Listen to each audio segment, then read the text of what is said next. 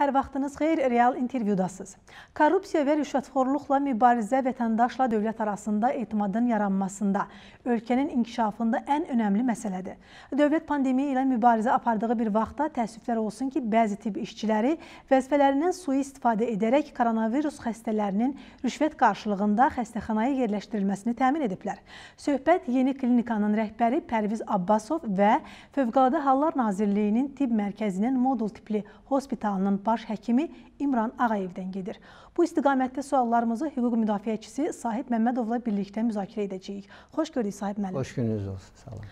Sahib müəllim, Azərbaycan pandemiyanın ilk günündən mübarizə aparır. Daha sonra e, prezidentin e, iradəsi nəticəsində qısa bir vaxtda ölkədə modul tipli xəstəxanalar yaradıldı.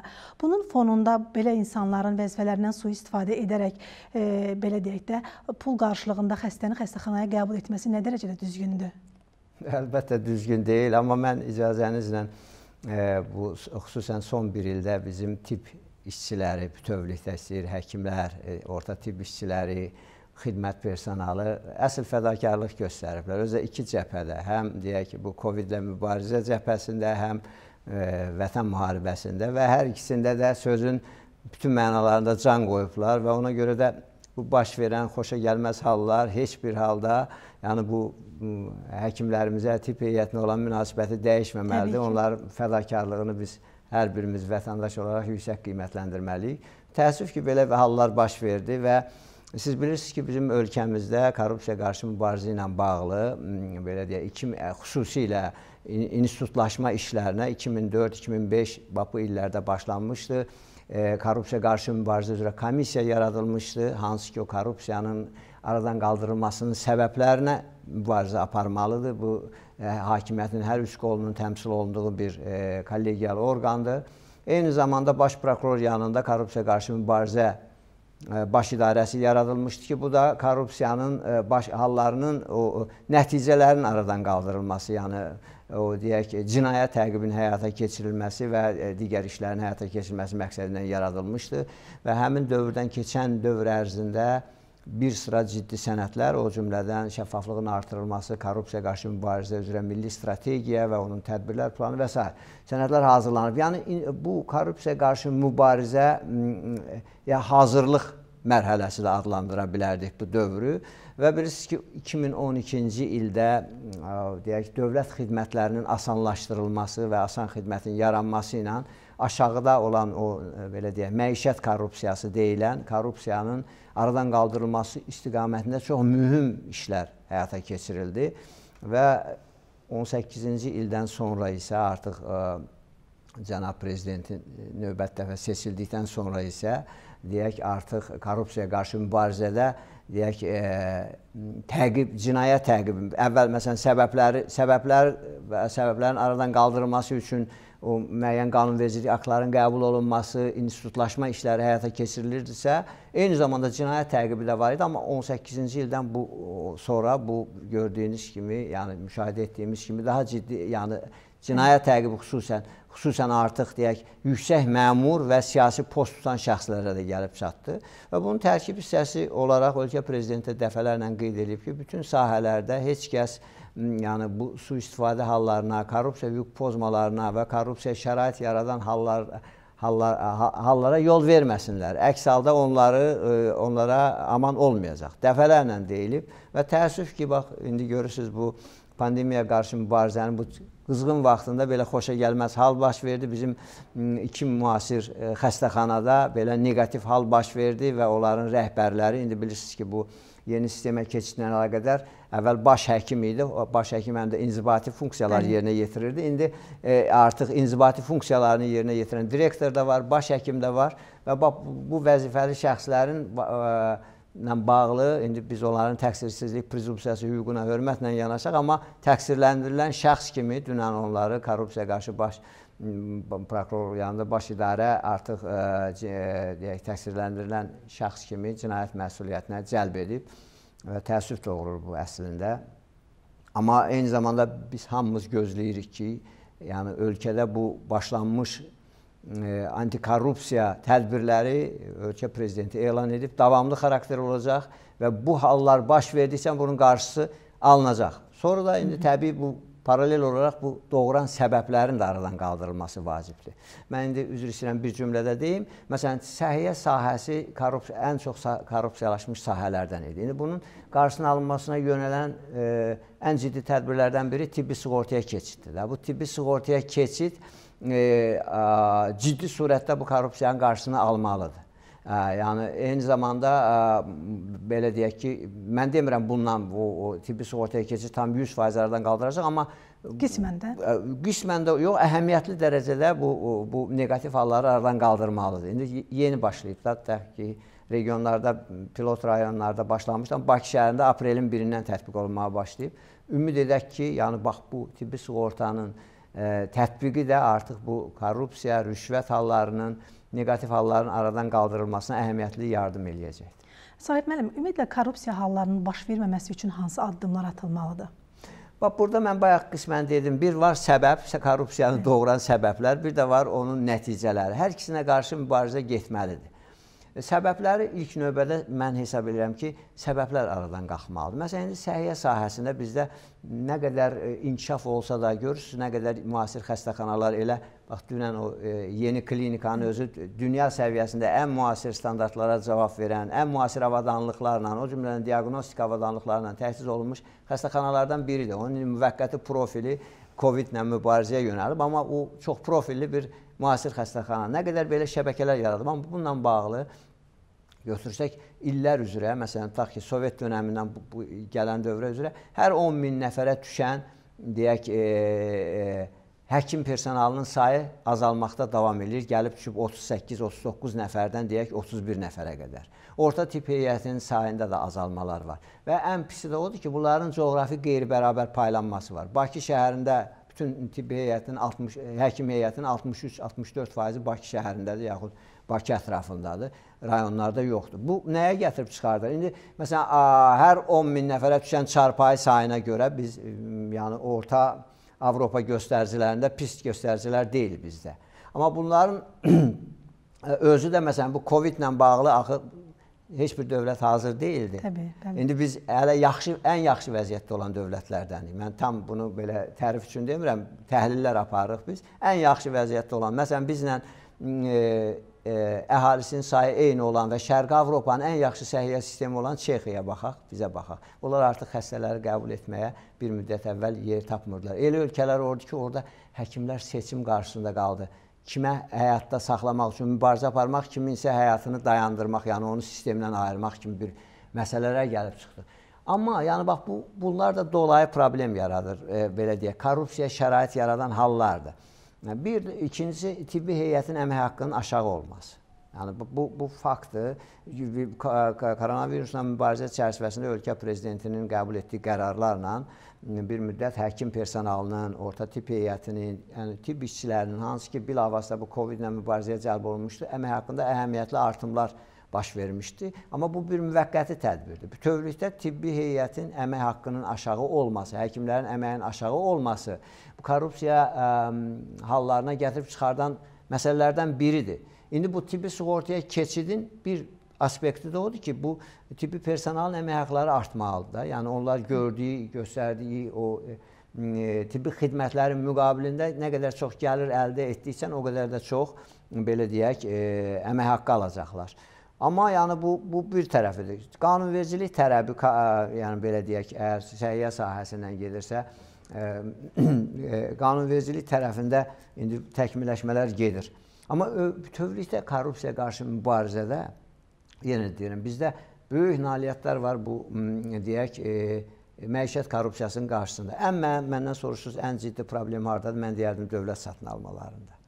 Və bu dövlət satın almaları ilə bağlı artıq prezident bir neçə dəfə toxunub bu məsələyə. Qiymətlərin şişirdilməsi, ə, saxta tenderlərin keçirilməsi, satın alma qaydalarına əməl olunmaması, ə, satın alma planlarının vaxtlı vaxtında ə, o, müvafiq icra hakimiyyətinin yaratdığı elektron informasiya sistemində yerləşdirilməməsi kimi hallar məsələn bu elə səhiyyə sisteminə də aiddir də. Yəni dövlət səhiyyə sistemində də bütün xidmətlərin alınması satın almalar yolu ilə həyata keçirilir. Bir bir də kadrların təyinat məsələsində. Yəni kadrların təyinatında indi məsələn e, rayonlarda kimsə e, deyək səhiyyə müəssisəsinə rəhbər təyin olunur. O başlayır orada öz komanda yığmasına və və yaxud bəzi neqativ məsələləri eşitməyə başlayırıq ki, bu tibbi heyətin seçilməsində, vəzifələrə təyin olunmasında hansısa neqativ hallar baş verir. Bunlar tədricən aradan qalxmalıdır və bunun üzərində bilmirəm, əlavə dövlət nəzarətinin təmin olunması zərurəti var, yoxdur, amma mövcud olan orqanlar, xüsusən indi baş prokurorluğun bu sahədəki, yəni həmişə ədalət naminə deyil, həmişə nəsə ediblər, amma xüsusən indi son dövrlərdəki apardığı tədbirlər, ondan əvvəl dövlət təhlükəsizlik xidmətinin keçirdiyi əməliyyatlar, hamısı bunlar bizə əsas verir ki, deyək ki, korrupsiyaya qarşı mübarizədə həm səbəblərin aradan qaldırılması, həm də nəticələrin aradan qaldırılması. Yəni rüşvət alan, rüşvət verən, hamısı məsuliyyət daşıyır da bizdə. Cinayət məcəlləsində də bu bizdə bunlar başlayır az ağırdan ağıra qədər cinayət sayılır. A, a, passiv rüşvətdə, ə, aktiv rüşvət bir qədər yumuşaq da olsa o eyni dərəcədə o da cinayət təqibinə gətirib çıxardır. Hmm, belə, yəni bu başlanmış mübarizəni bir an dayandırmaq olmaz. İndi bu səhiyyə sisteminə də belə deyək, biz görmüşdük idarə etmədə başlanmışdı bəzi sahələri əhatə etmişdi. Bu o, deyək cinayət məsuliyyətinə ə, e, əməliyyat axtarış tədbirlərinin keçirilməsi indi səhiyyə sahəsinə artıq keçir və ona görə də diqqətli olmalıdırlar.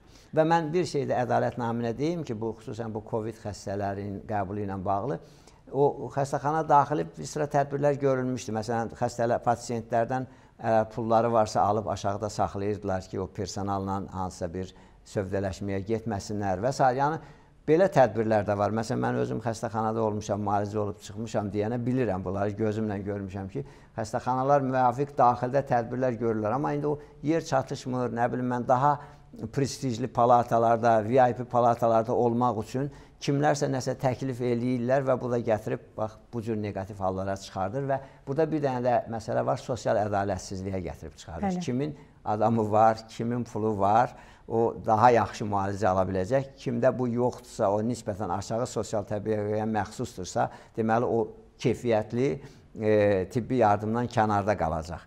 Və bunun yəni bir bu cür neqativ tərəfi də var da. Aha.